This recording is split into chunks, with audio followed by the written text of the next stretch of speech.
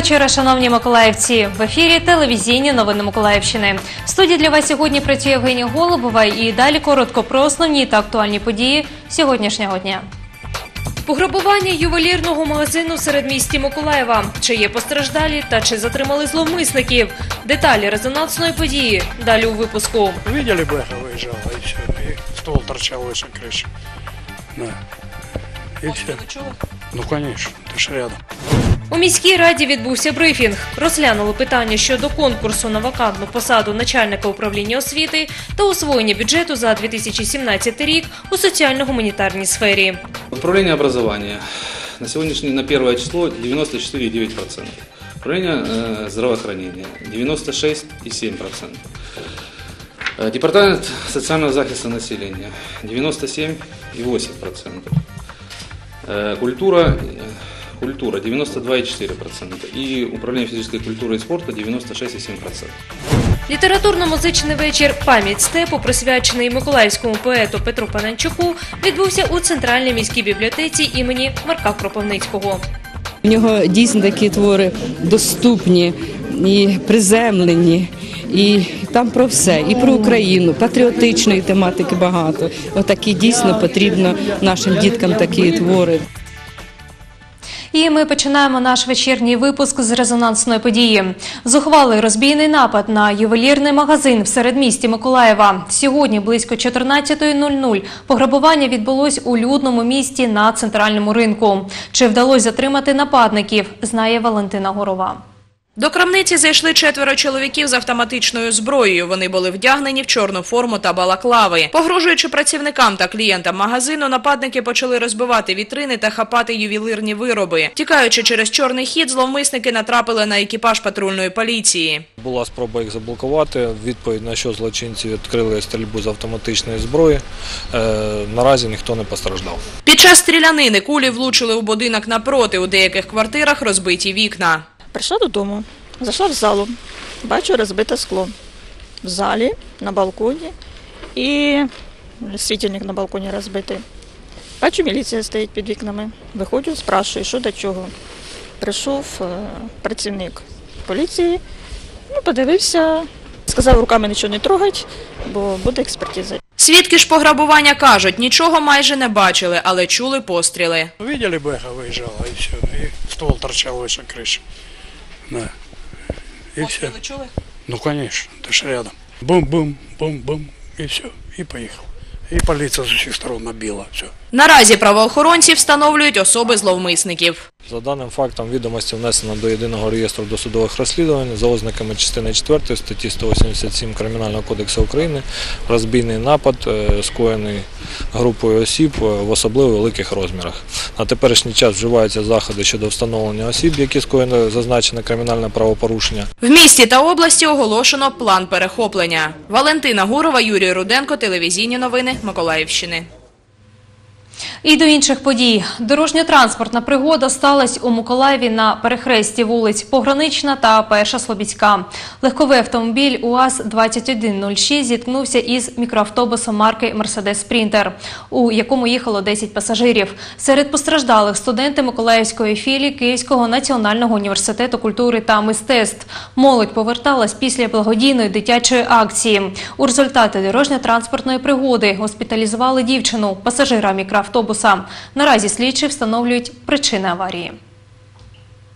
Миколаївській обласній державній адміністрації скликали термінову нараду. Тут обговорювали стан пожежної безпеки об'єктів медичної галузі, шкіл та інших установ міста та області. В нараді взяли участь представники міської та обласної влади, а також очільники департаментів та установ. Особлива увага освітнім та медичним закладам. план заходів поетапного впровадження і виконання протипожежних заходів, з 2012-го і його термін закінчення 2017 рік, тобто сьогодні. На превеликий жаль, ні один з цих планів до сьогоднішнього дня в життя практично не втілив. За протипожежну безпеку зазвичай згадують, коли лихо вже трапилось. Приклад тому пожежа у одеському дитячому таборі Вікторія, яка трапилась цьогоріч. Це каже про те, що відповідальність полягає саме на вас, а не на тих керівників, за яких ви ховаєтесь. Не керівник е, навчального закладу, бо керівник лікарні, буде відповідати. Будете відповідати саме ви. Таким чином, у найкоротші строки представники навчальних закладів та лікарень мають надати звіти стосовно стану протипожежної безпеки, після чого виділення коштів на усунення недоліків буде вже безпосередньо за місцевими депутатами.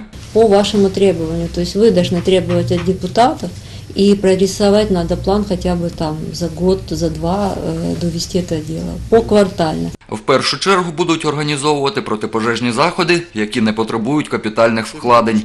Дійшли згоди учасники наради. Олександр Гордієнко, Артем Балібов, телевізійні новини Миколаївщини. Конкурс на вакантну посаду начальника управління освіти, виконання бюджету за 2017 рік та інші питання обговорювали в міській раді. На брифінг запросили представників миколаївських мас-медіа. Перше, на що звернув увагу журналістів під час брифінгу заступник міського голови Євген Шевченко, освоєння бюджету за 2017 рік у соціально-гуманітарній сфері. Управление образования.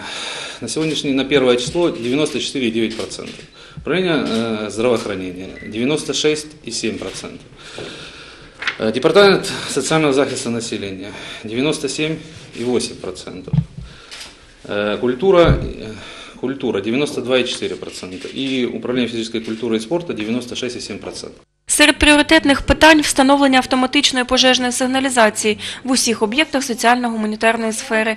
Адже за результатами перевірки, яку здійснили надзвичайники, шість шкіл Миколаєва та один дитячий садок не відповідають нормам пожежної безпеки. В даний час замовлено ПКД на облаштування АПС в семи навчальних закладах. Це 257 тисяч гривень. ПКД буде виготовлено до кінця 2017 року. Для облаштування АПС необхідно передбачити у бюджеті 2018 року 6 мільйонів 292 тисячі 620 гривень. Ведеться роботу, робота по придбанню протипожежних дверей, які будуть встановлені до кінця поточного року. Також під час брифінгу вже інший заступник міського голови Юрій Степенець пояснив журналістам, чому до конкурсу на заміщення вакантної посади начальника управління освіти допустили кандидатів, які від початку не відповідали вимогам. Если не соответствуют претенденты, то я как глава конкурсной комиссии могу э, э, отказать конкурсантам в участии в конкурсе.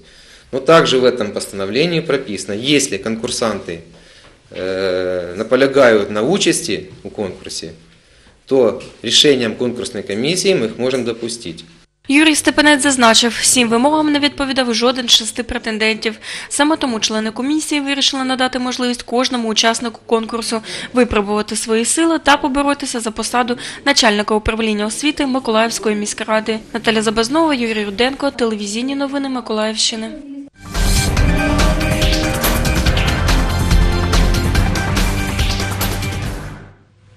Миколаївські рятувальники перевірили стан техніки підвищеної прихідності, що залучатиметься для ліквідації наслідків надзвичайних ситуацій. Про це повідомляється на офіційному сайті Головного управління ДСНС України. Техніка підвищеної прохідності застосовується переважно взимку. Вона знаходиться на базі аварійно-рятувального загону спеціального призначення ДСНС. Бронетранспортери, інженерні машини розгородження, аварійно-рятувальний автомобіль з некороторною установкою. Їх призначені ліквідувати наслідки зимових погодних умов, снігові завали, ожеледиці, природні перешкоди. Усього перевірили 15 одиниць техніки. Під час огляду особлива увага зверталась на технічний стан та наявність необхідного обладнання транспортних засобів. За висновками співробітників головного управління ДСНС, уся техніка та особовий склад готові реагувати на зміни погодних умов. Близько 9 сотень демобілізованих учасників АТО та членів їх сімей оздоровлено цього року коштом обласного бюджету. Це стало можливим завдяки реалізації програми Турбота. Програма розрахована до 2020 року. У нинішньому на оздоровлення демобілізованих учасників АТО та їхніх сімей виділено майже 3 мільйона гривень. 200 угод на суму 1 200 тисяч гривень на санаторне лікування атовців уклали органи соцзахисту. Також існують домовленості між управліннями соцзахисту та санаторіями на лікування воїнів АТО до кінця поточного року на суму більше ніж 950 тисяч гривень. Очікується й надходження з держбюджету. Ця сума сягає 3 мільйонів. Використані вони будуть на придбання 300 путівок для осіб з інвалідністю. Всього на Миколаївщині проживає понад 60 тисяч осіб з інвалідністю. З них 1100 осіб отримали інвалідність внаслідок війни. А на сході країни російсько-окупаційні війська продовжують обстрілювати українські позиції. Прес-центр штабу АТО повідомляє, наші бійці контролюють ситуацію. 38 разів окупанти порушили режим тиші минулої доби. Українським військовослужбовцям доводилось відкривати вогонь у відповідь, щоб стримати ворога. На Луганському напрямку із настанням темної передоби ворог активізувався біля Троїцького і Луганського. Поблизу цих прифронтових населених пунктів противник вів вогонь зі 120-мм мінометів.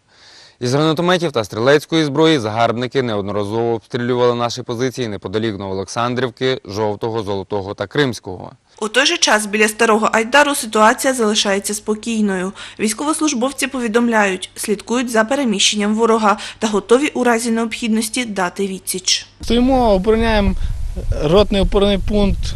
Відповідно, ситуація відносно контрольована. Обстрілів зі сторони противника немає. Інколи здійснюються обстріли неприцільно з артилерії, мінометів, ну це з значними перельотами. Інколи стрілецька зброя, яка не досягає нашу, наших позицій. На Донецькому напрямку ворожий танк обстрілював передмістя Авдіївки. Загалом минулої доби поранено трьох українських військовослужбовців. Один наш боєць загинув. Вікторія Чернявська, телевізійні новини Миколаївщини. Одеські школярі взяли участь у змаганнях з кульової стрільби. Які результати показала молодь та які призи на них чекали, далі у відеоматеріалі наших колег з ТРК «Бриз». В Одесі було проведено особисто командну першість на Кубок об'єднання громадських організацій, учасників, ветеранів та інвалідів антитерористичної операції Одеси та Одеської області зі стрільби з малокаліберної гвинтівки в рамках святкування Дня Збройних сил України. Метою заходу є виховання готовності молоді до захисту батьківщини, покращення до призовної підготовки, заохочення кращих колективів школярів міста Одеси. Одеський обласний військовий комісаріат тривалий час співпрацює е, з громадським об'єднанням учасників АТО Одещина. Е, Разом ми вже провели е, багато заходів і на цей раз вирішили провести активні заходи активних форм патріотичного виховання зі школярами. В основному сюди залучаються школяри, які приймали участь в вахті пам'яті на посту номер 1 в місті Одеса. Виховання патріотичне та е, школьна програма по захисту батьківщини не стоїть на місці. Тобто люди працюють, і ми будемо їм завжди в цьому допомагати.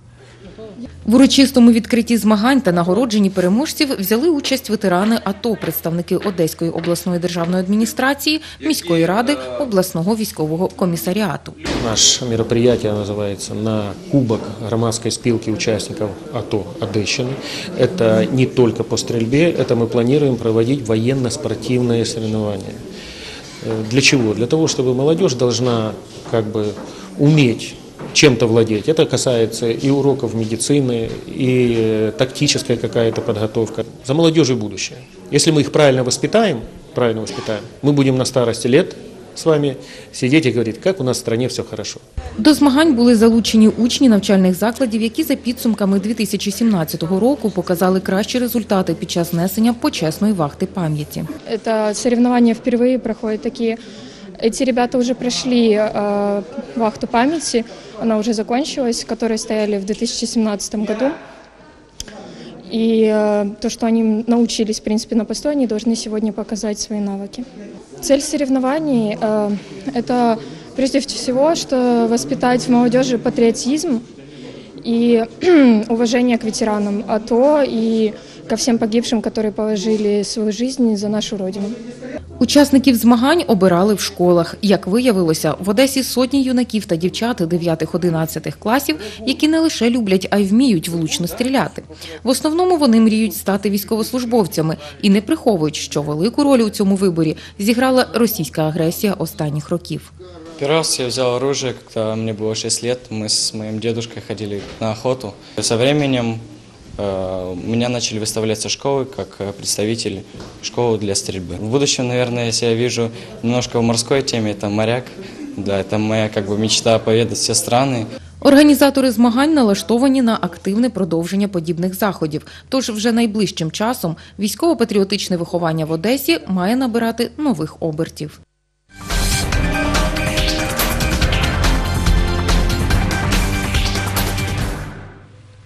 Опубліковані перші фото городища Дикий сад з висоти пташиного польоту. Такий майбутній музей просто неба ще не бачили. Світлини публікував на своїй офіційній сторінці у Фейсбуці історик Кирило Горбенко. Автор фото Олександр Кабанов. На світлинах бачимо цитадель, рів з фундаментом мосту і найближче передмістя. Минулий 26-й сезон розкопок давнього городища був вдалим. Археологи розкопали житло ремісника майстра з різьблення кістки. І до інших подій. Літературно-музичний вечір «Пам'ять степу», присвячений миколаївському поету Петру Панянчуку, відбувся у Центральній міській бібліотеці імені Марка Кропивницького. На заході побували і наші журналісти. Цього року миколаївському поетові Петру Панянчуку виповнилось 80 років. Журналіст, громадський діяч, жартуючи каже, навіть і не пам'ятає, з чого саме почався його творчий шлях. Поезія митця про любов до батьківщини, відомих земляків, український степ. Що на серці, то я кладу на папір. Якщо на серці солодко, як десь там, як то кажеться, як без в ребро, то я пишу про кохання, а як е, щось там стріляють, я тоді пишу про те, що стріляють. Так що в мене зовсім різна тематика. Послухати ліричну поезію та привітати автора прийшли друзі та колеги. читаємо його і поважаємо, і сприймаємо його творчість як е, перше його твори нас е, кличуть до любові до України, патріотичні твори його. І ми е, цим живемо, і ми дуже раді, що він є серед нас, що ми з ним спілкуємося, бачимо його. Тому ми сьогодні прийшли вшанувати його поетичну творчість. Я давно мріяла про це, щоб отак його пошанували на такому рівні. У нього стільки, у нього стільки матеріалу, там не на одну збірочку. І в нього дійсно такі твори доступні і приземлені. І там про все, і про Україну, патріотичної тематики багато. Отакі дійсно потрібно нашим діткам такі твори. Під час заходу Петра Панянчука нагородили відзнакою обласної ради за заслуги перед Миколаївщиною другого ступеня. Валентина Гурова, Світлана Кльосова, Ігор Чорний. Телевізійні новини Миколаївщини. Експозиція представлена в Одеському музеї західного і східного мистецтва. Це один із завершальних етапів низки заходів, які проходили в місті в рамках оголошеного президентом року Японії. Всі експонати, перш ніж побувати в Одесі, незадовго до цього були представлені у Києві. Ідея експозиції проста – показати роботи народних умільців і познайомити одеситів ближче із японською культурою. Все это мастера, мастера украинские э, с разных городов Украины. Здесь участвуют и Киев, и Одесса, Запорожье, Винница, э, Днепропетровск. э, Со Львова прислали ребята свои работы. Такая большая, широкая биография. Можно сказать, что это всеукраинский проект. Центральними експонатами виставки стали авторські ляльки, виконані в японській тематиці – фарфорові, гіпсові з полімерної глини, пап'є-маше, текстилю і інших матеріалів. Також були роботи, які представляли сучасний погляд на традиційну японську ляльку. Дві з них виготовлені в стилі кокеші. Это деревянная заготовка в форме яйца, расписанная вручную. Это акриловый краситель и аппликации м, стразами. Чимало експонатів було антикварних з колекції Одеського музею ляльок та іграшок. На виставці можна було познайомитися із традиційним японським мистецтвом. Сегодня представляю работы в технике суме, что обозначает картину тушью. Рисуется на рисовой бумаге тушью. Э, Используются все э, материалы японские, специальные кисти, специальная э, тушь, которая растирается, специальные тушечницы. Все эти материалы японские. И так как это м, э, дзенская живопись, она не терпит э, исправлений. Епілогом для експозиції стала виставка картин японської художниці Нацуме «Український військовий в японській ілюстрації». Шукаючи для себе нові теми серед цього розмаїття фотографій в інтернеті, молода художниця зацікавилася Україною. Дівчина в стилі манго зобразила коротенькі історії різних людей в мирний час і момент, коли їх застала війна. Есть работы, которые э, были сделаны еще в 2013 году, когда еще не было э, войны и не было всех этих событий. То есть она увлеклась Украиной как таким культурным феноменом. Когда начало, начались военные действия на территории Украины, и когда, э, э, значит, э, можно сказать, ландшафт изменился и появилось больше фотографий, которые в э, интернете, касающиеся э, Украины, которые касаются не столько мирной жизни, сколько э, жизни, связанной с войной, она сделала серию работ, и связанных с войной. И удивительно то, что со временем ее работы в стиле манго на японских, в японских социальных сетях, на японском языке набирали десятки тысяч перепостов и лайков. И это тем более удивительно, потому что на самом деле как бы, ну, есть и другие темы японские. На відвідувачів до 10 грудня чекає ще чимало сюрпризів. В музеї проходитимуть різноманітні майстер-класи на японську тематику. І це були всі новини на цей час, що ми встигли підготувати для вас. Гарного вам вечора і нехай щастить!